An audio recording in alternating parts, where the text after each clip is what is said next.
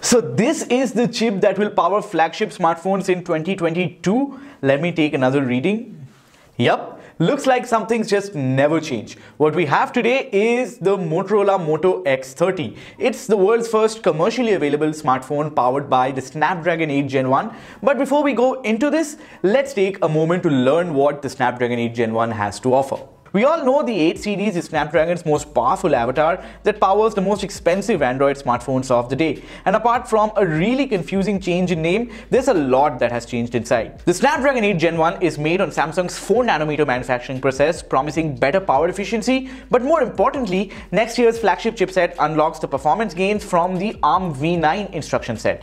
It's got new cores in the same tri-cluster arrangement, a big Cortex X2 core clocked at 3GHz for the really intensive tasks tasks, followed by three Cortex A710 mid-cores clocked at 2.5 GHz to compute semi-intensive tasks, and four Cortex A510 cores clocked at 1.8 GHz for everything else. There's also a new GPU that Qualcomm now simply calls Adreno, no number after it to denote generational shifts, but it now supports more advanced rendering features like variable rate shading, 10-bit HDR gaming, 144 FPS gameplay, and more. Qualcomm promises a 30% gain in GPU performance and 20% improvement in CPU performance followed by a 30% reduction in power intake. So a new manufacturing process, a new instruction set and well, a new name too. So just how good can the Snapdragon 8 Gen 1 be? Hi, I'm Shubhajit, you're watching My Smart Price. Let's get raging.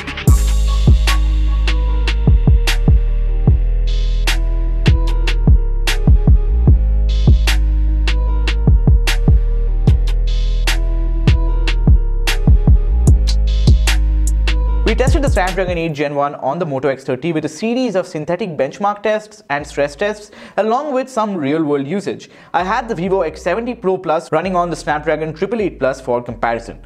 But the thing to note here is the Moto X30 is a rushed device. It doesn't fully explore the capabilities of the brand new chip. Things like the Snapdragon 8 Gen 1's always on camera isn't put to use and you can't even shoot 1080p videos at 60 frames per second from the camera.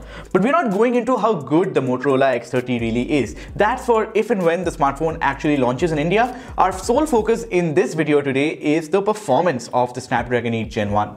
Our first test is the Antutu benchmark. We ran it thrice to see how the scores average out and while the Snapdragon 8 Gen 1 almost touches the 1 million score mark, its average score was just 12% better than the Snapdragon 888 Plus.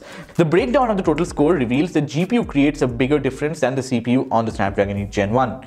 Next up is the Geekbench 5 CPU test. I feel this test isn't optimized for the ARM v9 architecture yet as the chipset info it shows is of ARM v8 but we ran it thrice regardless and the results were a tad disappointing for the Snapdragon 8 Gen 1. After 3 runs the average single core and multi-core scores were almost similar to that of the Snapdragon 888 Plus.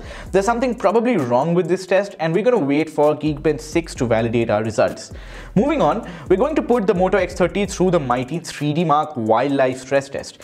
This test gives us a good idea of both the chipset's graphical prowess and its thermal capacities. And this is where the Snapdragon 8 Gen 1 shines. It scores a whooping 41% higher than the Snapdragon 888 Plus, but more importantly, it maintains a good 70% stability after 20 runs of the same test.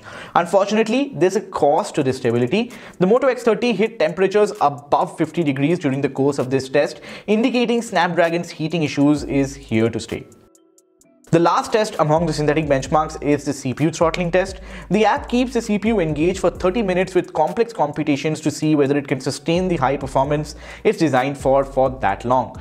And the Snapdragon 8 Gen 1 throttled to 80% of its max performance after 30 minutes of this test running, while the Snapdragon 888 Plus throttled to only 85% of its max performance.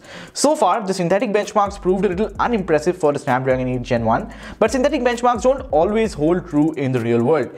Here, the Moto X X30 actually feels pretty smooth paired to the 144Hz AMOLED display along with LPDDR5 RAM and UFS 3.1 storage. It feels just as fast as the fastest flagship out there in regular use and Android 12 feels nice and smooth on this phone. But for a true taste of the real world, we played a few games.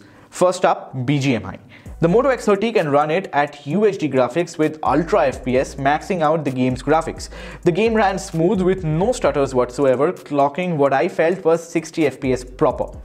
Next up, COD Mobile. Here, the Moto X30 can hit very high graphics with max FPS, same as the Vivo X70 Pro Plus on Snapdragon 888 Plus. But here too the Snapdragon 8 Gen 1 handled the game pretty well, offering 60 frames per second gameplay with everything maxed out. Just look how smooth the game is running. Finally, there's Genshin Impact, a really intensive mobile game that puts flagship GPUs to good use.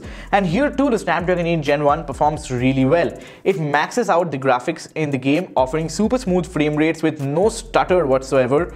And in fact, all the games that we tested ran with everything maxed out. But of course, that's expected since this is the best at present, but more importantly, the heating. Yes, it exists even in real world tests. The phone did heat up quite a bit while playing Genshin Impact, but not so much during BGMI and COD Mobile. Having said that, it didn't heat up as much as it did when the synthetic benchmarks were running.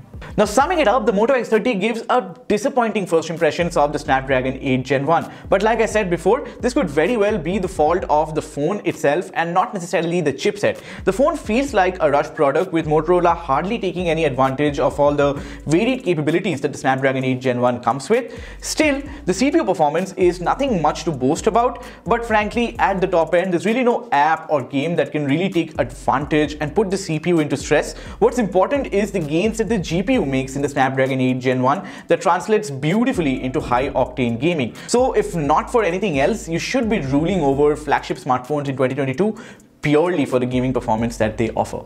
So that brings us to the end of this video. Let us know what you thought of the Moto X30 and more importantly the Snapdragon 8 Gen 1 in the comments below. Don't forget to hit that subscribe button so that you are notified every time we push out an awesome new tech video and share this video with as many friends as you can so that it signals the YouTube algorithm to propel this video up top. I'm going to catch you in another video soon. Till then, take care.